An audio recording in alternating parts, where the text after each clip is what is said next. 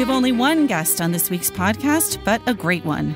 Robert Caro, Pulitzer Prize winning biographer of Robert Moses and Lyndon Johnson, joins us to talk about both of these men, his work as a journalist and a biographer, and his new book, Working.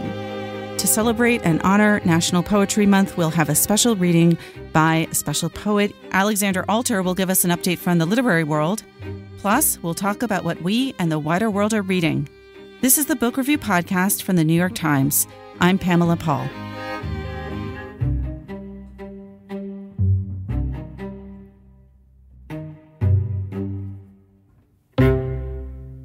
Robert Caro joins us now. He is the Pulitzer Prize winning author of many books. His new book is called Working Researching, Interviewing, and Writing. He is also the author of The Years of Lyndon Johnson, four volumes of them thus far, and The Power Broker, Robert Moses, and the Fall of New York. Bob, thanks so much for being here. Pleasure to be here. All right. So, everyone has been greatly anticipating volume five of The Years of Johnson, but instead you have written this other book, Working, Researching, Interviewing, Writing. Why did you decide to do this? Ever since The Power Broker, I kept myself out of the book. I don't think the word I appears in there many times. As soon as the book came out, people started asking me what was it like to interview Robert Moses. And I realized that I should have put in something to tell people what that was like. So for like 45 years, I've been hearing that question. And people ask me what it's like to work in presidential libraries, what can you find out from interviews. This isn't advice to anybody, but it's sort of, I said, well, I want to give people some glimpses into how I work. So I took time out to do this book. Now I'm back doing the fifth volume.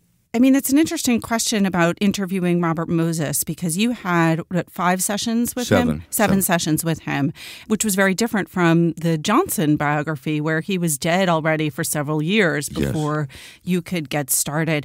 And I'm curious, you write about it a bit in working. What it the difference was like for you writing the book, writing a biography of a person who was still alive versus writing a biography of someone who was already gone. In one sense, it's great to write about someone who's still alive because you get to meet him. Now, Moses didn't talk to me for the first couple of years of the book. Then we had seven interviews. As soon as I started asking questions, Pamela, the interviews were over. But they were long sessions, and I really got a look at him. With Johnson, you felt, oh, I came along just too late. He had died just three years before. What was great about him was that he died so young. He would have been only 67 when I started. He died at 64. That everyone was still alive. He had, I think, 12 people in Johnson City High School when he was there. They were all there to be interviewed. But you can't make up for not meeting and talking to the person you're writing about. You just can't. Do you feel that absence in working on the biography Johnson of? Johnson? Yes, you do everything you can to overcome that. You know, you interview the people closest to him over and over and over again, constantly asking them, what was he like if I was standing next to you? What would I see him doing? So you try to get a feeling of him. Now we have these telephone transcripts where you hear him talking. You know, you have mm-hmm. hundreds and hundreds of hours. You can listen to him talking and see how he deals with people and how he gets what he wants from people. That's what's always amazing to me. Has that changed sort of the way that you've been doing your research, having access to those? Tapes? Yeah. I think it should change the writing of history in general, like on the Gulf of Tonkin incident, which has been sort of a mystery. What really happened there? How many attacks were there on our destroyers, you know, that led Johnson to launch these large bombing attacks on North Vietnam? Now you actually hear the communications between Robert McNamara, the Secretary of Defense, CINCPAC, the Admiral at Honolulu, and the commander of the fleet that's in, in Vietnam. You hear this in what was really going on in real time. The other aspect of your interviewing that I thought was so interesting that you write about in this new book, Working, is the delicacy of interviews, and especially when you get to touchy subjects. And though you didn't interview Johnson for the book, you did interview Lady Bird. And I tell a story about how you and when you approached the subject of Johnson's longtime affair with Alice Marsh. Well, when Johnson is in the Pacific during World War II, you're allowed, he's in Australia, you're allowed one telephone call. The senator from Texas has just died. Johnson has to decide whether to run again for the House of Representatives or to run for senator. I'm going through all the correspondence, and suddenly, in the middle of it, there is a telegram from someone signed Alice. I've never heard of Alice. She appears in no book. And it says, Lyndon, everyone else, that happened to me in the White House, everyone else thinks you should run for the Senate. I think you should run for the House. Please try to call Love Alice. I said, Who is Alice? Who is this person that he makes the only one telephone call to and who's giving him political advice, which he follows? Shortly after that, so that's you know, an example of going through the papers. By sheer luck, her sister and best friend show up at the Johnson Library and they ask to see me. And I go down to see them, and they say, You know, we want to tell you about a woman named Alice Marsh. We don't want to portray it as some bimbo. She was really very important in mm-hmm. Johnson's life. And they told me the whole story of this long and significant relationship in his life. So, how do you then ask Lady Bird? You know, Pamela, that's the only interview I ever had in my life where I couldn't bring myself to look at the person I was interviewing. Alice was a small town girl, and she turned herself into this brilliant Washington hostess, brilliant meaning brilliant Solange. And she came from a little town called Marlin. Now, no one would go to Marlin unless they were looking for information on Alice. It's a little town in the middle of nowhere.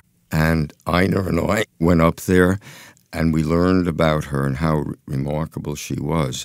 But all of a sudden, we have a mutual friend who lived in Marlin who calls me in a panic and says, Bird. In Texas, everybody calls Lady Bird Bird. Mm-hmm. Bird knows you've been in Marlin, so she knows you know about Alice. So I said, Well, that had to be. That doesn't concern me. But her secretary then shows up at my desk in the reading room and says, Mrs. Johnson would like to see you out at the ranch this weekend. We had been meeting in her office.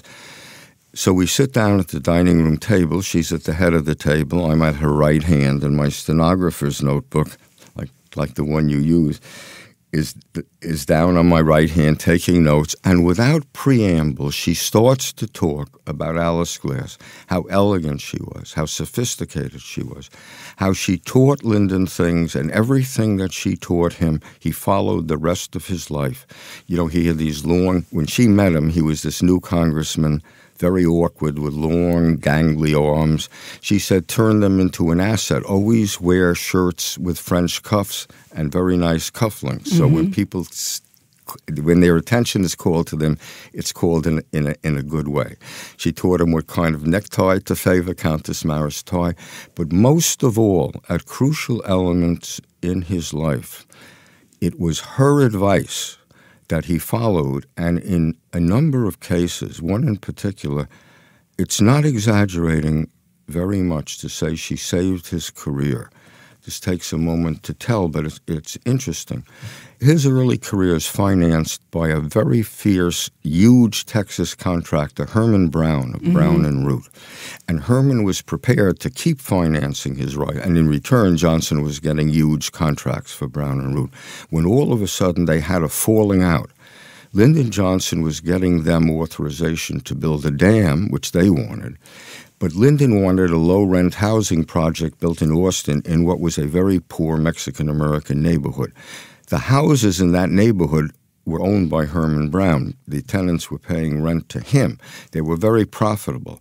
And he was enraged that Lyndon wanted to condemn them for his housing project. And his chief lobbyist and his chief lawyer talked to him and said, You know, Herman was about to turn on Lyndon. And when Herman turned on you, he never turned back. When Alice hears about this and invites them both down to her great estate in Virginia, she sits them down at her table and says, Why don't you just compromise? Give Herman the dam and Lyndon the land. And all mm-hmm. of a mm-hmm. sudden, everything was okay. So Lady Bird starts talking not only about her elegance, she says, the quotes are in the book. She was so sophisticated, so beautiful. I remember her in a succession of wonderful, beautiful dresses, and me in, well, not so wonderful. And, and then she said, you know, Lyndon, basically, Lyndon always followed Alice's advice. During that whole interview, I have to say, my head just stayed down and I took notes. I couldn't look at her.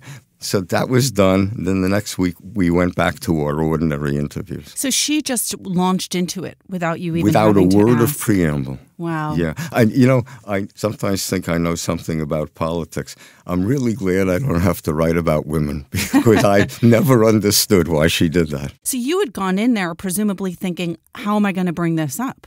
Yes. and then you never. I didn't have to.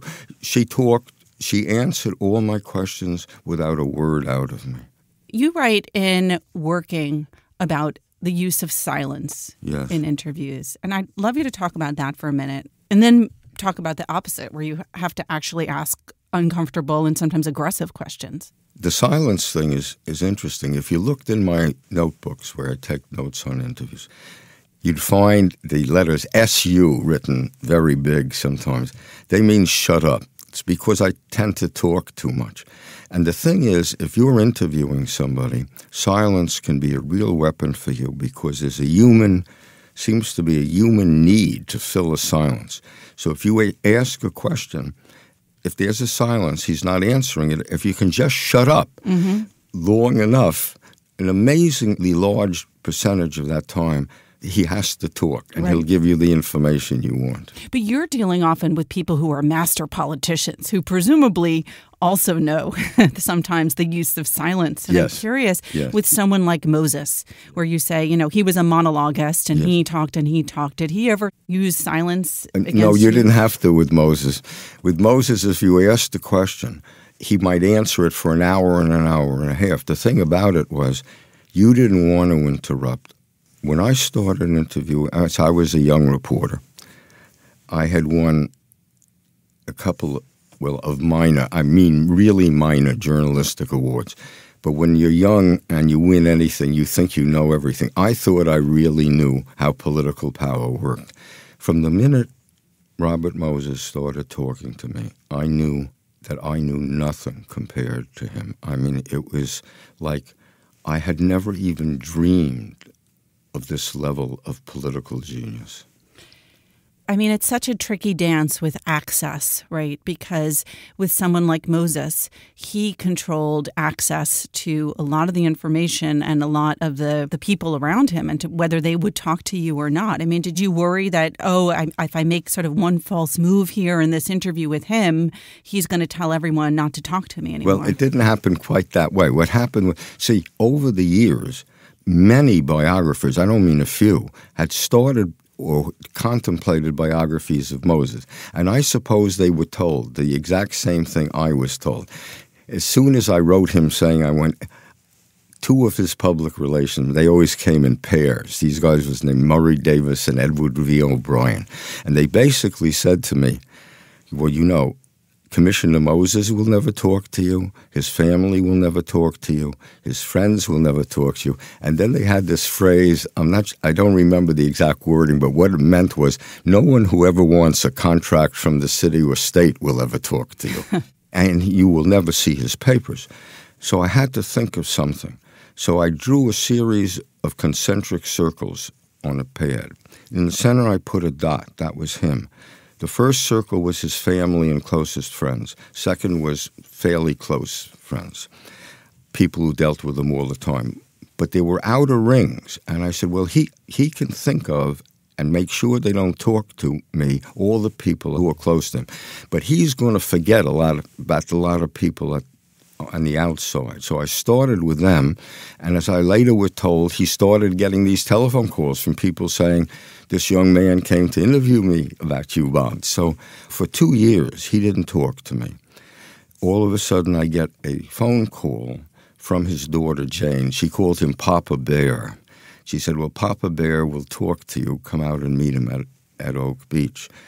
And I do not know why he changed his mind on that. I was told something. It's uh, quite complimentary to me. So But it's the only explanation I was ever given. I became very friendly over the years with his chief aide, a guy named Sid Shapiro. He said, Well, you know, the commissioner realized with you that finally a biographer had come along who was going to do the book whether he wanted it or not. I don't know if that's true. Mm-hmm. But we had seven interviews, which were an education for me.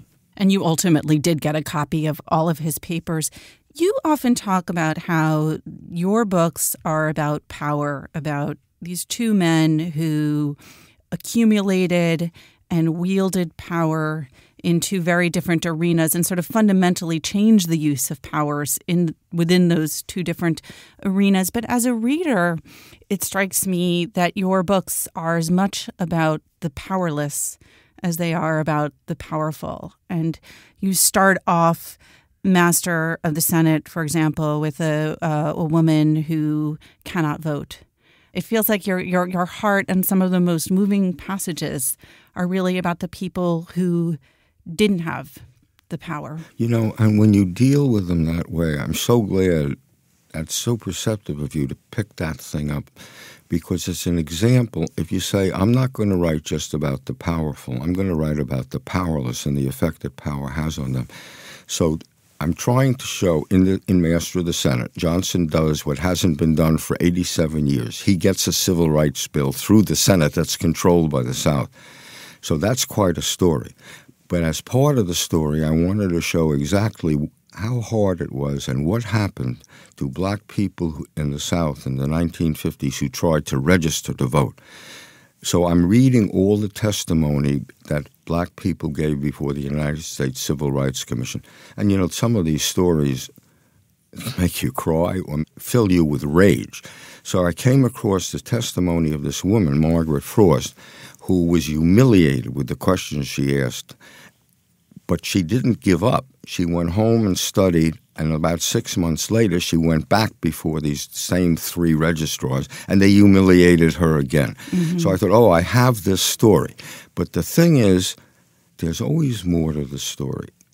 And her husband, in the course of her talking to me, she mentioned, just in passing, that her husband had registered to vote, David Frost. So I said, Well, I'd like to talk to him. He didn't want to talk to me at first, but I eventually spoke to him on the phone, and he told me the following story. When he registered to vote, a car came by and men shot out with rifles the lights on his porch. He wanted to call the police, but as the car drove away, he realized it was a police car. All of a sudden, Pamela, you said, so that's what it was like to be a black person in the South. There was no place to turn, no one to protect you. So the whole story came, there was a whole other dimension to me. I want to talk a bit specifically about Master of the Senate. Listeners of this podcast have heard a bit about it in the last few weeks as I was reading the book. And there are certain aspects of the writing in this book that I think you cover also in your new book, Working. And I want to talk about those different aspects. One is the sense of place, another, storytelling and pacing, and the third is the development of your characters. But, sort of as background to all of that, is the process of writing and editing. Because with The Power Broker, we know that about 350,000 words of this book did not end up in the final book. I imagine that that is true as long as they are of books in the years of Johnson. I'm curious about what your process is like in terms of your relationship with your editor, Bob Gottlieb, how that works. well, it's a long relationship. You know, he became my editor in 1971. That's 48 years. Wow. It hasn't been always a peaceful relationship let's say we're both strong minded people, but he's a great editor for me. I think he's, well, he's a great editor. And sometimes I think no one but he could have edited me because what he does, I mean, he's not going to let you go. If he makes a suggestion and you don't want to accept it, you're not going to turn the next page. He's going to tell you why you should change it. So, in answering that, you have to think about what you did. That's very valuable to me because my books take so long. My publisher and my editor never bother me. So I'm sort of in a vacuum in, in a way. And it's easy to fool yourself that you're doing it better than you are doing it. But as you're writing this, you, you, you're forced to say, what would Bob think of this? Mm-hmm. Do you know? If you saw us up till this the working book where things became friendly. It was it was one that took 45 years, but from the very first time, he's a guy never used to go out for lunch. I never have lunches. We worked on that book. You know, the cutting out of the 350,000 words was really hard, and I think even Bob would say to you, we didn't do it just because they were superfluous. I think he said something like, we, we cut 350,000 really good words. Yeah. N- neither of us wanted to do that, but we're so on the same wavelength. So, in order to get enough money to finish The Power Broker, I had to sign a two book contract. The second book was for a biography of Fiorello LaGuardia. So I finished The Power Broker, and I really don't want to do a LaGuardia biography. I covered this. I can't stand ever to go back and do the same thing again. Mm-hmm. And I'm saying, but you know, I realize now that what I was doing in The Power Broker was not a biography of Moses. It was a study of urban political power in cities, how real power works. Mm-hmm. When you're not elected to anything, what is the real power that you get? I said, I want to do that for national power. And I know who I want to do it through. I want to do it through Lyndon Johnson. And I never want to have to cut out words that I don't think should be cut again. I want to do it in volumes. I said, but Knopf, my publisher, will never let me do that. I'm under contract. So I'm sitting there starting the LaGuardia biography, and I get a call from Bob, and he says something like, Listen, I know your famous temper. Bob is always saying, Bob Caro has a terrible temper, but I'm a very even tempered guy. Untrue. Okay, it's two people with a terrible temper. So he says, I know your temper. I want you to come in and see me, and I don't want you to say anything until I finish talking. I have a suggestion for you. So I went in, and he says, I know you want to do this LaGuardia biography, but I don't think you should do that. I think you've done it all already. But I do have another subject that I'd like you to do. I'd like to suggest that you do Lyndon Johnson, and I think you should do it in volumes.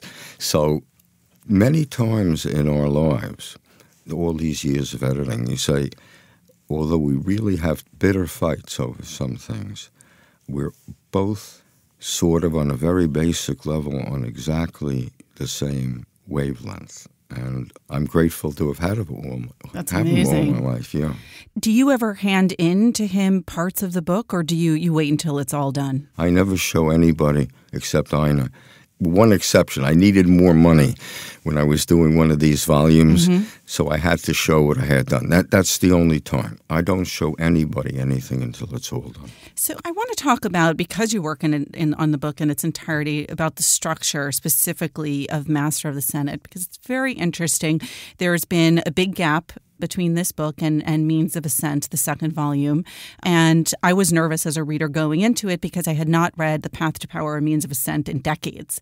So I thought, oh gosh, you know, am I going to be able to gain entry into this?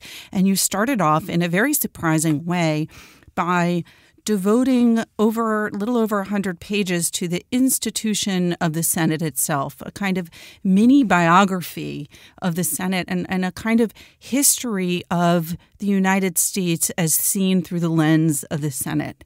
How did you decide to do that? And did you know from the beginning you were going to approach it that way? No, not at all.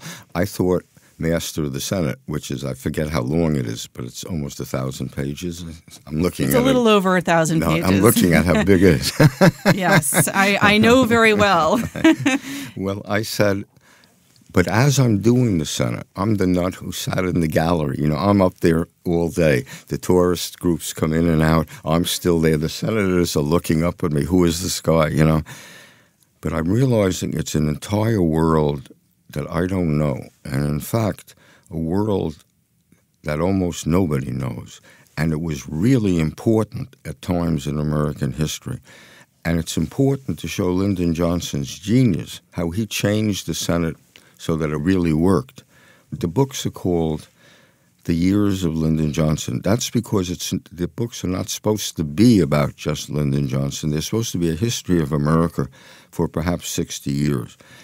So I start writing this, and I said, This is a story nobody knows. And it's going to take, I suppose, uh, 100 pages, maybe 60, 70,000 words. So I wrote it, and I said, Well, I think this should be published where am I going to put it? If I start the book like this, nobody's going to read the book. And I tried to break it up and put it parts of it at the beginning of other chapters, to italicize parts and put it into other chapters. Finally, I said, to hell with it. This belongs at the beginning of the book. That's where I want it to be. That's where it's going to be. Mm-hmm. So I gave the manuscript to Gottlieb, and he said something like, you know, said something complimentary about it. Not he doesn't. I don't. I don't get a lot of those. he said something. He said, you know, and that's the only place it should go. Right at the beginning of the book. I don't think many editors would have said that. So you start off with this first section about the Senate, and one of the things that struck me about this book is that while it's very long, the pace keeps moving because you keep sort of changing a little bit what it is you're doing. And you have these mini stories within the book and even mini biographies within the book. And I guess first, how did you decide, okay, here's where I'm going to kind of home in and, and tell maybe a small story, but blow it out to illustrate something versus I need to describe what happened, let's say, between 1955 and 1957? Well, there's human drama. I tell the story of Leland Olds, a name that no one knew. I had read it, but had no idea. So, the beginning of the, this book, right at the beginning, Johnson comes to the Senate and he wants to cement himself with the Texas oilmen and the Texas contractors and up for confirmation is a man named Leland Olds, who had been on the Federal Power Commission, which regulates the oil industry. So it's mentioned in all the Johnson bio that he holds hearings on Olds and paints him as a communist. Some of these books say he was a communist. Paints him as a communist and defeats his nomination. I said, Well, I want to read the hearings. Mm-hmm. So you ask why the books take so long. Hearings are a lot of reading because there's a lot of extraneous matter. But woven through this series, I say, I am reading a story of a man, Lyndon Johnson, destroying another human being for political ends. I can't believe it. I mean, I, re- I remember reading these hearings all night, underlining them. I said, look what he's doing here he takes this man who, as a young young man in his twenties, had flirted with the Communist Party and had written for the Daily Worker, and painted him as a committed communist, and destroyed his life. I mean, Olds was a respected man. After that, he lived the rest of his life always struggling for money, shunned by all his almost all his old friends because it wasn't safe to be known to be his friends. And Johnson is doing this, and it's sort of horrible. So I tried to find everybody who was connected with it, and I found one aide who is standing. Johnson has just had a cross examination of Olds saying, you know, you, do you still believe this? He would quote articles from the 20s. Olds would try to explain that he didn't believe it, but Johnson would cut him off. And there's a man standing with Leland Olds in the luncheon break for the hearings or recess break, I don't remember. And Johnson comes out and throws his arms around Olds and says, throws one arm around the shoulder and says, I hope you're not taking this personally, Leland. It's just politics, you know. So I said, I, I'm going to tell this story. When you say you're going to tell a story like that, Pamela, you know it's going to take a lot of pages if you tell it right because mm-hmm. it's a human story and you have to paint two human beings, Lyndon Johnson and Leland Olds. Sometimes you get a feeling that you've done the right thing. When this book comes out, I mean, no one had heard of Leland Olds anymore. I'm signing books. I think it was in, in some west. I think it was in Seattle, but I don't really remember. And you know, you're sitting there. So there's a, you give a talk. It's a long line of people. All of a sudden, this voice says to me, "I'm Leland Old's granddaughter. I want to thank you for saving my grandfather's reputation. Well, I have to tell you, there are moments when you do these books that you feel good. There are a lot of moments when you don't feel good about what you did, but there are moments when you feel good about something. Wow. I mean, you read that that biography, and it is like a mini biography of, of Leland Olds. And to this day, I mean, if you go onto Wikipedia, he's got like three paragraphs. And what you do is that rather than start with the facts of the situation, which you, as you state, that, okay, here's someone for political purposes in order to win the presidency, in order to gain the trust and the money of this lobby in Texas. Right. He needs to defeat this nomination. Rather than start there, you start with here's this guy, Leland Olds. And for a moment, the reader thinks, why are we talking about Leland Olds, who comes across as, you know, just a good person, a real idealist and idealist. public servant. Yeah. I thought that it was interesting that you did that too with other characters, other sort of mini biographies that appear in the book, that even someone like Richard Russell, you start off and we don't we don't have a sense of Russell as a tremendous racist from the very beginning. We hear a lot about the good things that he did. And it isn't until it's almost novelistic what you do with the character development that you don't. The same thing with Eastman, who sort of flits in and out in the earlier parts. And it isn't until much later in the book that you realize this guy is a real repressive racist. A, a hater. I mean, a, a hater of, of, of blacks. When you research you read the newspaper articles, the New York Times, the Washington Post. Russell is held up as the beau ideal of, of a senator, the perfect senator. And in foreign affairs, he really is. He's like one of the great senators of Rome. When you read about him, you study his speeches, you say, this must be what the great senators of Rome were like. He, he had this world view American army should do this It was a very intelligent and informed worldview. Then you start reading the congressional record, and you see you can't believe the racism, the hatred that sometimes he's reading a speech that you know he's carefully edited, and the hatred comes through. And then you realize this is the guy who, for 30 years, kept the Senate. Someone said the Senate was the South's revenge for, for Gettysburg. Mm-hmm. Nothing can get through the Senate that Russell doesn't want.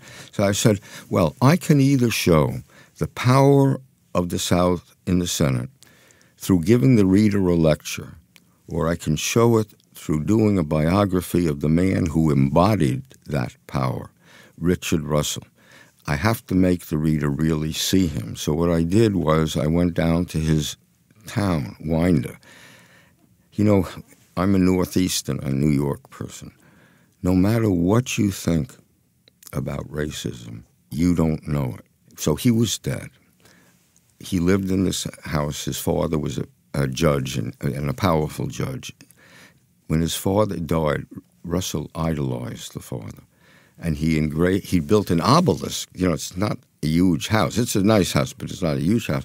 In the back of it, he builds an obelisk to his father, and on it it says, Lover of the Old South, defender of the new. So you you start talking, and one of the things you realize is it wasn't just that he opposed every attempt to make lynching a federal crime.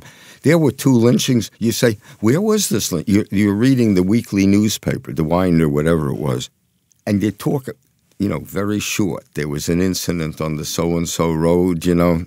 So that's a lynching, you know, you're talking about. See, that's just down this road fr- from his house. And then he had two nephews. The law firm, Pamela, was still called Russell and Russell. So I made friends with the two nephews. We were walking. I don't. I don't remember that the sidewalks were wooden. Maybe they were, but most of that town is not white. It's black. So it would be an exaggeration for me to say that anyone. We walked abreast, you know, mm-hmm. filling the, the sidewalk. People were coming towards us, black people. I don't want to say, because I don't really remember that happening, that anyone actually stepped off the sidewalk to give us way. But I saw the eyes of the people coming towards us, and they were ready to step off the sidewalk. And I just hated. I mean, I just you came back from that. You said, if you make make a picture of Russell correctly, I don't say I did it correctly. It was very hard. I rewrote that thing. If you do it, you're going to show two things: the greatness of this man in foreign affairs in directing the armies of the empire. Let's put it in Roman terms, you mm-hmm. know and the horror of this man in playing the leading role in keeping laws to help black people from passing for decades. And then you say, but Lyndon Johnson made Russell believe. Why did he raise Lyndon Johnson to power? Russell is the guy who raised Lyndon Johnson to power. Then you said, You mean Lyndon Johnson made Richard Russell believe that he believed the same way he did? Mm-hmm. Yeah, that's quite a story. You are famous for taking notes by hand, for writing your first and second and third drafts in longhand, and then working on a, a manual typewriter. Has technology in any way, there's so much that has been digitized and that's now available in video and readily accessible. Has any of this had an effect on the way that you do your research and write? It has had no effect on the way I write. I still write in the way you just described, in longhand and on a typewriter. It has had a terrific effect on my research because the computer makes research like there are all these hearings. I'm doing Vietnam. Mm-hmm. The executive sessions of the Senate Foreign Relations Committee are thou. I don't even know. There are thousands of small print pages. You really can't read it all. But with a, just say one thing, control find. You want to know yes. what Richard Russell, you know, said? That's easy. So yes, it's helped me a lot in recent years. Because you talk about those, you know, huge files just down in the Johnson Library. Is that now all digitized and searchable? No, almost none of it is digitized and searchable. So some of it still hasn't changed. Most of that library hasn't been digitized. Wow. You just have to pick the boxes that you feel you ought to turn every page in and use them. You start off this book talking about your experience as a newspaper reporter, mostly for Newsday on Long Island, where I grew up. And I'm curious about two things. One, what was the most important thing you learned as a newspaper reporter that helped you in the in your writing in the process of writing these biographies and is there anything that you had to kind of forget because it wasn't useful or it wasn't helpful to you? Well, the most important thing I learned is what I talk about in working. The very first piece of advice I was a new reporter, I'd never done investigative work. I had this old editor guy out of the front page. I was the first Ivy League graduate who had ever worked in his city room, and I was hired just because he was on vacation and they wanted to play a joke on him. He wouldn't even talk to me.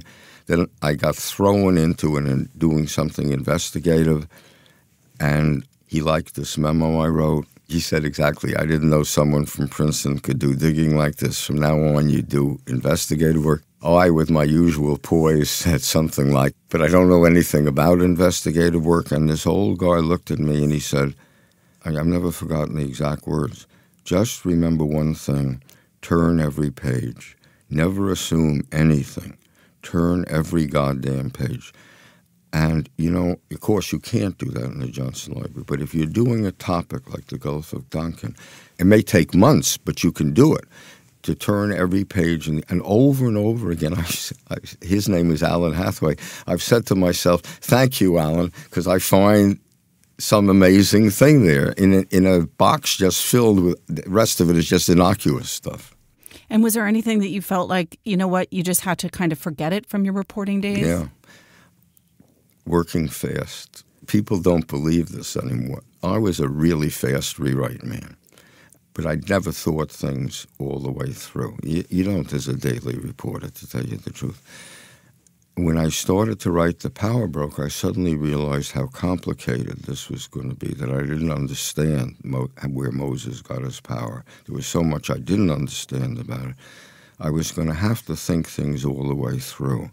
So that's really the reason, Pamela, where I write my first drafts in longhand, because that's the slowest way of committing your thoughts to paper. I do a lot of drafts in longhand, and then I go to a not a manual but an electric typewriter.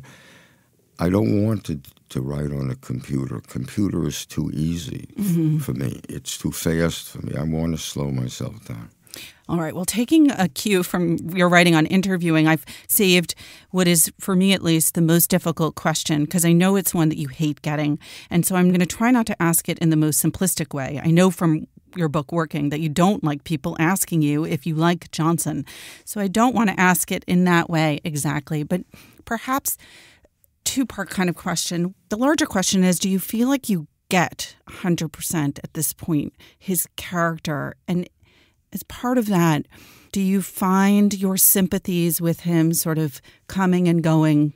I mean, he changed a lot, right, over the course of his life, and he was changed by the events of his life. I'm just curious how your sort of personal understanding and sympathies with him or against him have shifted over time. Yeah, it's a great way to put that question. So I spent a lot of time, you know, with his brothers, his sisters, his classmates in high school and college, the guys who were in his first political machine. I felt I came to understand this character. It's a very strong character. It sort of formed in his terrible boyhood. You know, you can't really think about Lyndon Johnson's boyhood without wanting to cry for him because it was a terrible, humiliating boyhood in this isolated town, which is the whole world. And in this town, his father, who was once the most respected man in it, becomes the laughing stock of the town. And his family is, they lose the Johnson Ranch. The father makes one mistake. They lose the Johnson Ranch. They're living in a little town in Johnson City, and every month they have to worry that the bank's going to take that house away. There's often no food in the house, and neighbors have to. It was humiliating and terrible it's a complicated character. There's a deep well of compassion, and you see it when he's young, when he's a school teacher teaching Mexican American kids. You see it when he's president and he gives the great civil rights speech, and his speechwriter, Richard Goodwin, says, Do you really mean this? And he says, Listen, when I was teaching those kids in Cotulla, I swore that if I ever had the power, I'd help them. And I have the power, and now I mean to use it. You say, that's a consistent strand. Then you say, this is a guy, braggadocio, super masculinity. He used to refer to his private parts a lot in a very boastful way. There's some great anecdotes about that in the books. I'm not sure I'm going to not sure I'm going to repeat them on this, one, but you say, and Vietnam, so much of it owes to that side of his character. But if you're really asking me, does my view of his character change? I felt before I started writing the first volume that I had done everything I could to understand this complicated character. And I felt that his life plays out. It doesn't play out in a consistent way, but it plays out in a way consistent with that character. All right. Well, that's a, a, very good and careful answer. And I feel like we'll find out more from that when we get to volume five of the years of Lyndon Johnson. But also, there is really a lot of insight into that in this new book, which is a fascinating behind the scenes. The book, again, is called Working Researching, Interviewing, and Writing by Robert Caro. Bob, it has been such a pleasure having you here. It was a pleasure being here. Thanks.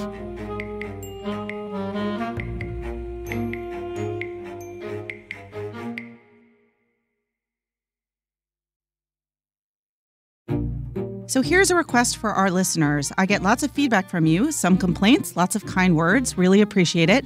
You can always reach me directly at books at nytimes.com. I will write back. But you can also, if you feel moved to do so, review us on any platform where you download the podcast, whether that's iTunes or Stitcher or Google Play or somewhere else.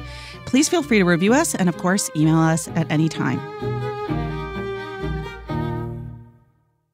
This is Greg Cowles, the Book Review's poetry editor. For National Poetry Month, we've invited poets onto the podcast to read a poem that's meaningful to them. This week, Reginald Dwayne Betts, whose most recent book was Bastards of the Reagan Era and whose next book, Felon, will be released in October, reads May 24th, 1980 by Joseph Brodsky. I have braved for want of wild beasts, still cages Called my term and nickname on bunks and rafters. Lived by the sea, flashed aces in an oasis. Down with the devil knows whom and tails on truffles. From the height of a glacier, I beheld half a world, the earthly width. Twice have drowned, thrice let knives rake my nitty gritty. Quit the country that bore and nursed me. Those who forgot me will make a city. I have waded the steps that saw yelling Huns in saddles, worn the clothes nowadays back in fashion in every quarter. Planet Rye, tarred the roofs of pigsties and stables, guzzled everything save dry water. I've emitted the century's third eye into my wet and foul dreams. Munched the bread of exile, it's stale and warty. Granted, my lungs all sounds except the howl switched to a whisper. Now I am 40. What should I say about my life? That is long and abhors transparency. Broken eggs make me grieve.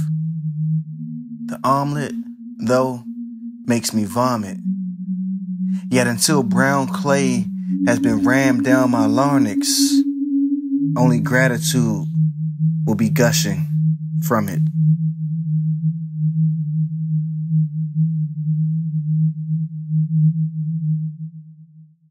This is John Williams, and I am joined by my colleague Alexandra Alter to talk about some literary news this week. Hi, Alexandra. Hi, John. Some timely news to talk about. One thing is that the Pulitzer Prizes were announced earlier this week, and in addition to the journalism prizes, of which the Times won a couple, and we're proud of that, there are the literary awards, which everyone always looks forward to, and in five categories. So I'll start with the the fiction category that was won by Richard Powers for his novel The Overstory. Powers is a very brainy novelist, as everyone knows, but I think that this book even stretched that to a new limit Yeah. because it is it stars trees. The Uh, protagonists are trees, which I think is so imaginative and, and wild and great. And it was nice to see him get this. I was sort of surprised my money was on Tommy Orange's There There. I even sent an email a few hours before the announcement because I wanted like a time stamped record in case I was correct. Um, he was a finalist, and it's sort of a kaleidoscopic look at what it means to be Native American, particularly a young urban Native American today.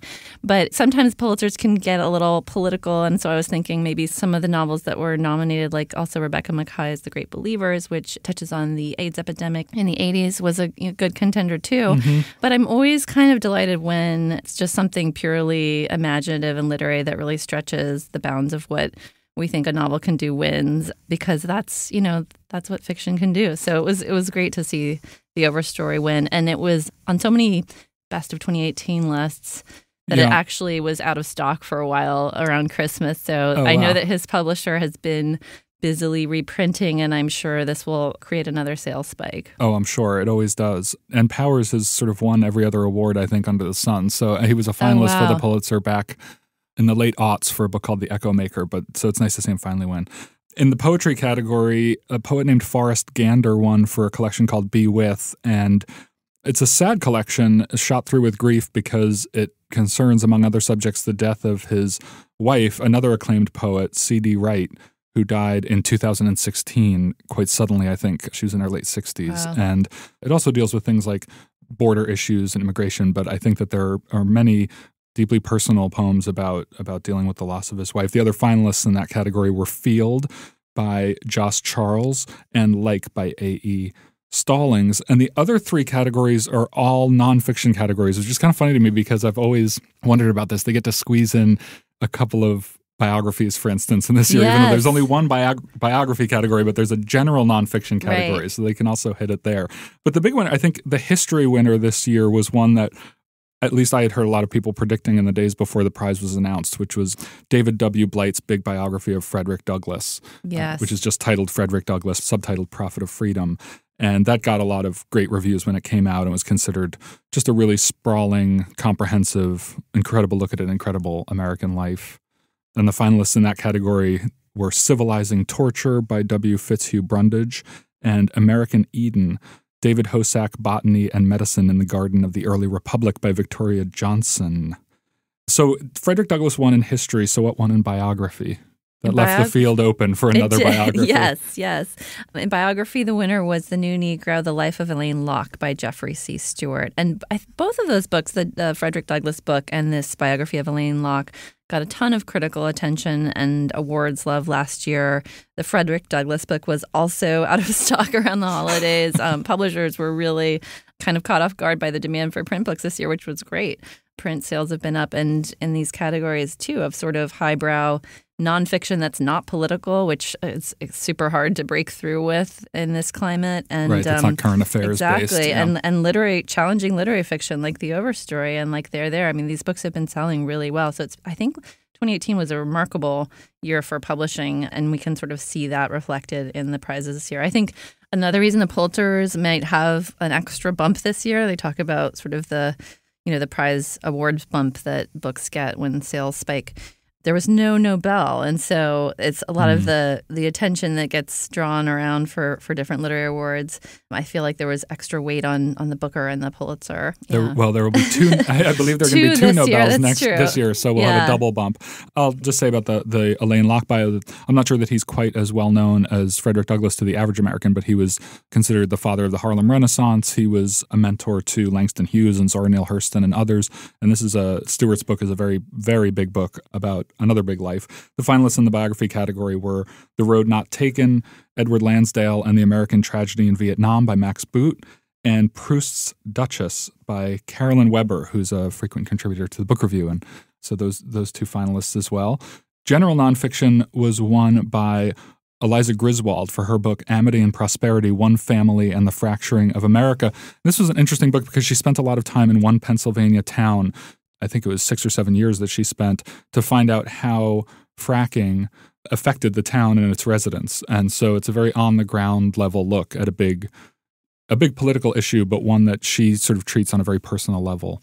And the finalists in that category were Rising Dispatches from the New American Shore by Elizabeth Rush and In a Day's Work by Bernice Yeung. So those are the Pulitzers, and that's happy news for everybody. Um, in slightly more stressful news, uh, uh, as we speak and as we're recording this this morning, all of Washington is scrambling to get a, a look at the Mueller report and see what's in it, what's been redacted, how to deal with it. And there is a publishing angle to this story. Always as a you've publishing angle. yes.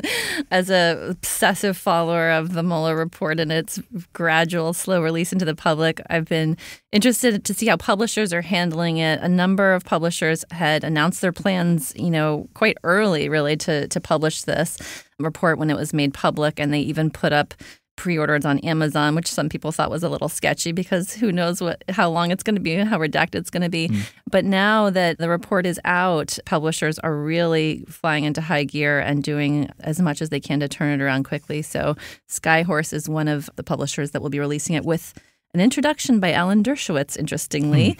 And their edition, they're hoping to get those out within a week. And Wow. they're planning a first printing of 200,000 copies, which they have increased because of demand.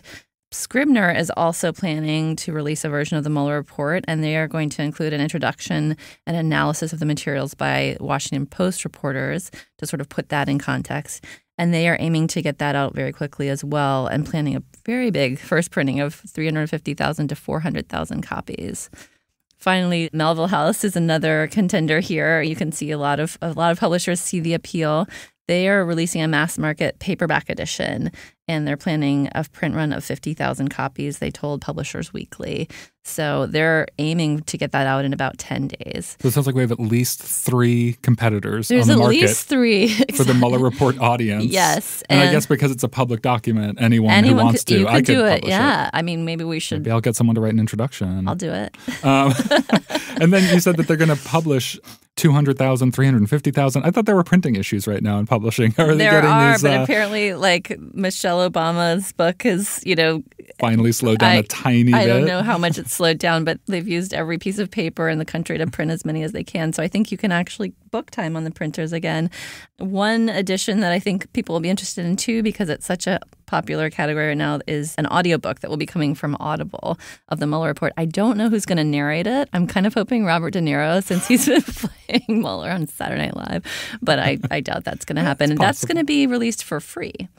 So interesting. Well, Yeah. it'll be it'll be very interesting after you know all of the news cycles and people's attention to see just how many people buy the book and, and exactly put down money for it. yeah, I mean, the Um, Starr Report was a bestseller, a huge bestseller. So, I mean, I think I might have mentioned this before as I've obsessively talked about it on the podcast, but because the Mueller report, there's so many conflicting opinions about it. So far, we've gotten, you know, Democrats sort of saying they're expecting to find more damning information in there. We have the Attorney General saying it's close to an exoneration, the president himself saying it's a complete exoneration. So I think in this instance, it's not so cut and dry. People are going to want to analyze it for themselves. well, I'm sure that as the numbers and the feedback from readers come in, you'll be back on the podcast to discuss it. My plan is to release a Mad Lib so that you can fill in the redacted sentences yourself. You should not have said that on air. Someone's going to steal that. That's a billion dollar idea. Thank you. Thanks, Alexandra. Thanks for having me.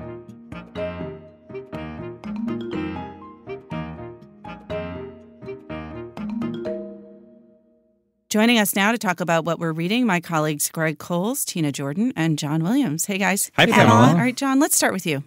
I'm reading a book called Lost Children Archive, which got a lot of attention this year when it was published just a couple months ago, I think, by Valeria Luiselli. And I had read a couple of Luiselli's earlier books. I think one was called Faces in the Crowd, and, and there was another Slender book, and they were fairly short, very beautiful, very smart, full of great imagery, but a bit oblique and a bit elliptical, which I like, but that's what they were. And looking at this book, which is much longer and seems sort of more ambitious narratively, I wondered if that style would really fit a book like that. And it turns out that she's just doing this totally different thing, which I'm very impressed by and enjoying. I'm about halfway through, which is that she is just telling a bigger story with sort of more traditional digressions and more traditional thoughts about marriage and children and and essentially and mostly immigration because it's set against the border crisis and it's about two people in New York, a married couple with two children, one from one each from a previous marriage, and they drive across country. They're two, I think they, I'll get this word wrong. It's like acoustemologists. They take sound recordings for sound documentaries. And the husband is obsessed with the Apaches and he's very progressive, teaches his kids about, you know, American imperialism and, and the genocide of native peoples. And the wife, who's also very liberal, is is feeling alienated from him, and she's working on her own project involving lost children, meaning kids who try to immigrate to the United States and get lost in the desert or or worse. And they're making these pit stops at motels and at Graceland and at diners, and uh, she's just kind of musing on both the the strains in her marriage, the way she's trying to raise her kids, and the way she's trying to teach her kids about how the world can be bad without traumatizing them. It's really great. One of the things I've been wondering about since you've read the earlier books is those were both and her other books published by small independent publishers, written in Spanish and then translated. I think this is her second book written in English. And this one is a major publishing house, uh, very big book in every way. Does it feel different? Like, does it feel more commercial, more accessible? It is more accessible. I don't know how conscious that is as a decision. I think she can just do both registers. There, there was, it's a little bit insider baseball, but I guess our listeners are, are pretty insidery at this point.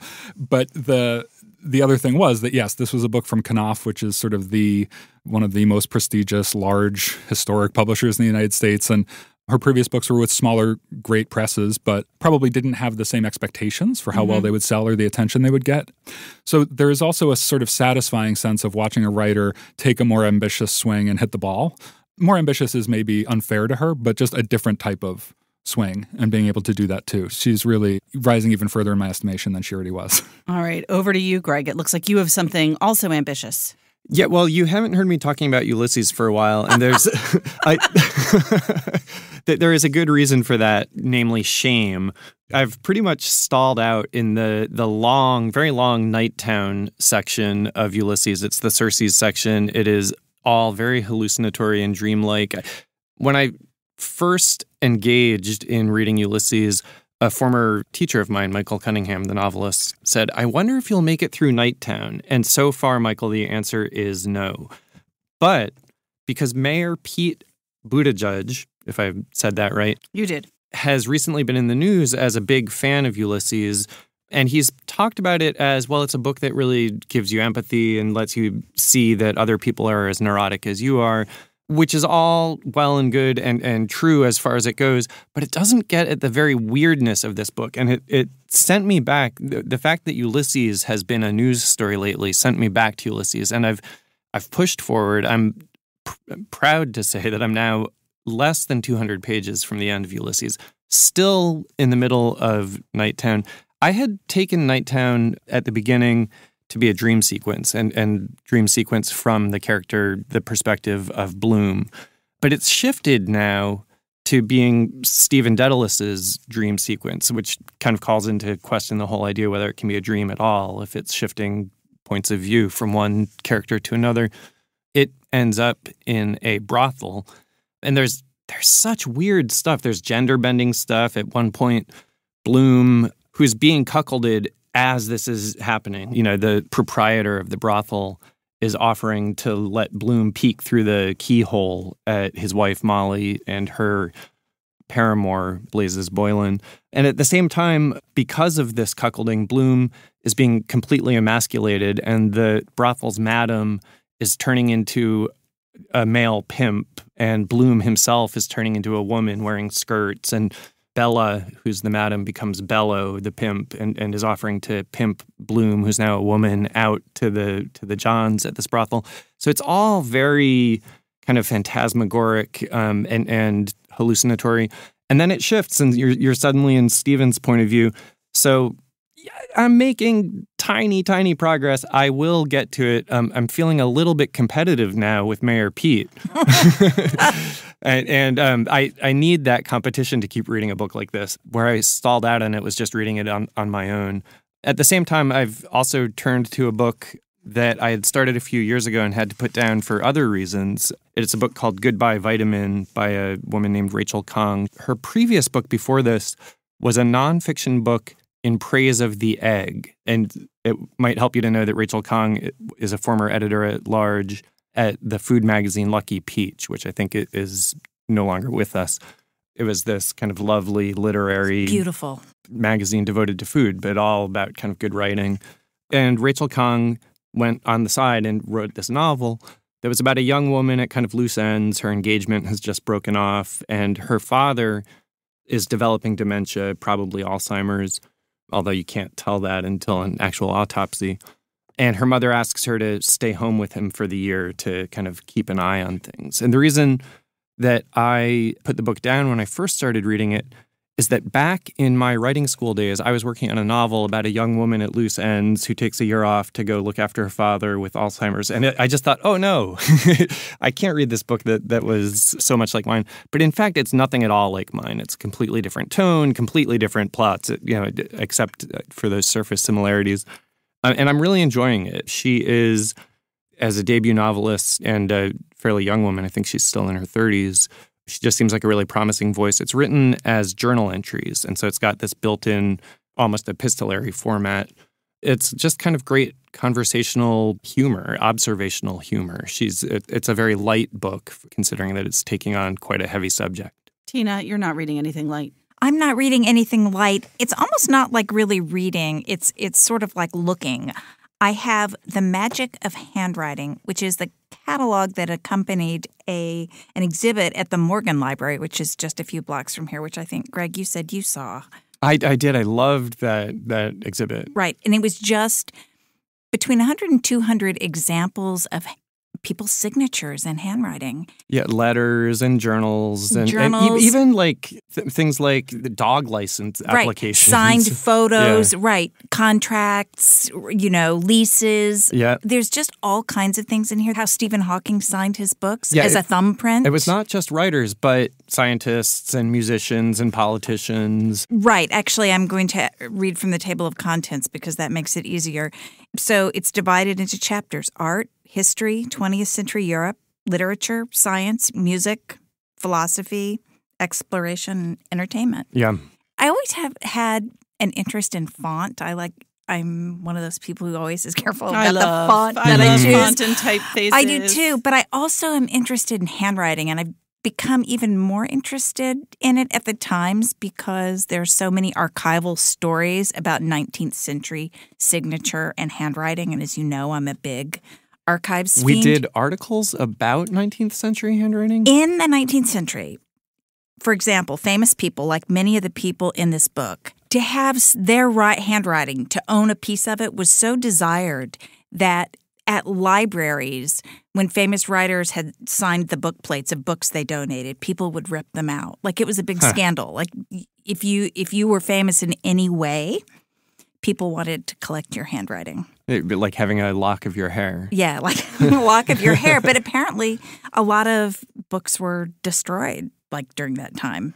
That That's had fascinating. been. I, I have to say, going to the Morgan exhibition when it was on, you do feel that something's been lost in the typewriter age because there's this kind of direct line between the brain and the page with the handwriting, and, I- and you can it's you see it in the spark of the moment. Well, Uh, there are studies that show that when you write something by hand as opposed to typing or keyboarding, as they now call it, um, showing my age, you both acquire and retain the information better than had you Right. keyboarded it. now, let me ask you a question. You've each got kids. What are their signatures like? I feel lucky. My kids have all learned cursive. So for them, a signature means cursive writing, Mm-hmm. which they do slowly and laboriously, um, you know, and mock my signature, which they think is, you know, just sloppy and and, and, and dreadful. My, my kids' signatures are as different as my kids' personalities, and my my son, who's 16, would really, if he could get away with just typing his name rather than signing it, I think he would do that. He he is very much a keyboarder. My middle child, uh, uh, daughter, is she's got lovely handwriting and uh, almost calligraphy, the way that she does her name with the scrolls and everything. And and the the youngest is only 10, so I think we're still waiting to see what her signature will turn out to be. What's your signature like, Tina? It's degenerated over the years, I'll say. it used to be much clearer than it is now. But anyway, so this book also it takes me back to like letter writing. I love reading letter collections, and a lot of these are letters. Yeah. And you forget how, you know, if Winston Churchill was going to be at Chequers while his wife was in the city, he would sit down and write Clemmy a letter a few times a Yeah. week. And James Joyce is in there, if I'm not wrong. yes, James Joyce is in Writing there as about well. being uh, wanting to be a musician. Right. One of my favorites is the Hemingway one, and it's written when Hemingway is 12 years old. and he's writing his father a note, and he says, Oh, I remember. Dear Daddy, I feel a lot better when all my work is done and my conscience is clear. You can tell somebody's just gotten in trouble. I looked up in my baseball schedule and found out that the New York Giants will play Chicago. You know, like, hey, Dad, take me to a ball and, game. and it was good. Yeah, right. so so it really does run the gamut. It's they aren't thing. I'm sure you you probably hadn't seen any of those things before. I know no, I hadn't. yeah. Anyway, fascinating. So if anybody else has a handwriting and type, you know, obsession like I do, this is a book for you. What's the name of it again? So it's called The Magic of Handwriting, and it's from the Morgan Library and Museum. Pamela, what are you reading? Journalists are famous for being narcissistic and navel gazy and love to read books about other journalists and about themselves. And I've actually been pretty negligent on that front. I, I, I don't live up to Not that. narcissistic enough. No, I've never read the Gay Talese book about the New York Times. I've read a couple of books about the Washington Post, Katharine Graham's memoir, Ben Bradlee's memoir. But if anything, for as much about sort of their their lives and the periods in which they lived as as as for their professions. And I picked up a book that is the opposite of that. It's about the New York Times, and it's not a pretty look at the New York Times. So it's one of those books that you don't want to walk around the New York Times carrying it. Um, and, and yet here you are on the podcast. and yet here I am announcing to listeners and any of my colleagues who may be listening, but actually it was a colleague who mentioned that she was reading this and I thought I have that book at home and I picked it up. The book is called Hard News: 21 Brutal Months at the New York Times and How They Changed the American Media by Seth Mnookin. And I read it, I guess, as a journalist would in, you know, a few hours. It was like a day because it is really juicy and terrible. This is the story of the period at the New York Times during which Howell Raines was the executive editor and Jason Blair, who was a fabulist and plagiarist and really serial compulsive pathological probably liar was caught plagiarizing and, and, and fabricating stories in the Times. And this subsequently, through a series of events, led to Howell Raines and his managing editor, Gerald Boyd, leaving the paper. And ultimately, Joe Lelyveld, who had been the previous executive editor, sort of taking over temporarily, and then Bill Keller becoming the new editor of the New York Times. This was in the early aughts. And this is about 2004, right? Yes, I, yes. I, I this happened after I was hired by the Times and before I started at the Times. So I watched it in unfolding in real time with kind of horror and thinking, what am I getting into? Welcome to your workplace. yeah. What was most interesting to me was frankly the depiction of how different journalism was not that long ago. You know, the internet was there. There was a mini journalism recession after 9 11, which people don't really remember because 9 11 was such a cataclysmic event that, that journalists really excelled at covering. Yet, in the wake of 2001, in about 2002, 2003, there was a media recession. And I remember Time Magazine had a hiring freeze. A number of magazines went under. One of the places that went under was a website called Inside.com, together with this magazine, Brill's Content where I actually very briefly worked alongside the hmm. author of this book, Seth Mnookin. So I was aware early on of this book.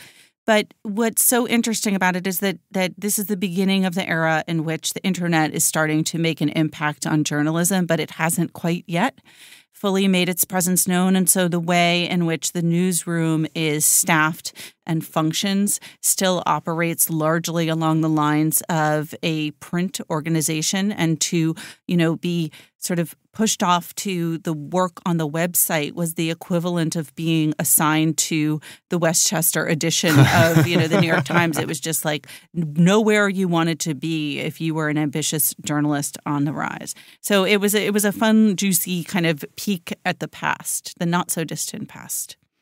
All right, let's run down the books again. Greg, what did you read? Goodbye Vitamin, a novel by Rachel Khong, that's K H O N G, and Ulysses by James Joyce. And Tina?